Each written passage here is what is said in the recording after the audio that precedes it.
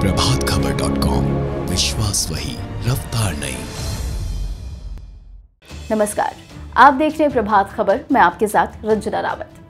देश के सबसे अमीर व्यक्ति मुकेश अंबानी के मुंबई आवास, एंटीलिया के बाहर बीते दिन एक संदिग्ध गाड़ी मिलने से हड़कंप मच गया। इस गाड़ी में जिलेटिन की 20 छड़े बरामद की गई है। साथ ही कुछ अन्य दस्तावेज़ भी बरामद किए गए हैं।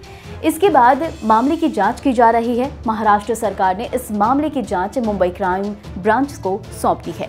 साथ ही अब तक इस मामले में केस भी दर्ज कर लिया गया है। सीसीटीवी से सुराग तलाशने की कोशिश की जा रही है।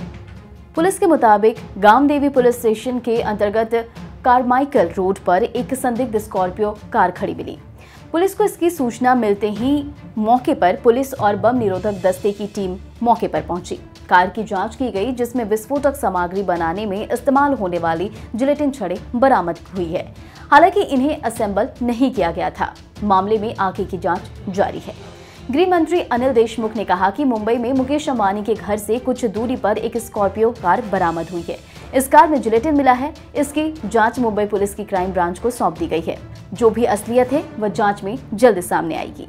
कार से जिलेटिन छड़े बरामद होने के बाद मुंबई पुलिस और सुरक्षा एजेंसियाँ सतर्क हो गई है। मुकेश अंबानी के घर के आसपास सुरक्षा कड़ी कर दी गई है। मुकेश अंबानी के पास पहले जेट प्लस सिक्योरिटी कवर है और उनकी सुरक्षा ज़िम्मेदारी सीआरपीएफ को सौंप दी गई है। इसके अलावा मुकेश अंबानी की पत्नी नीता अंबानी को वाई कैटेगरी सुरक्षा मिली हुई है।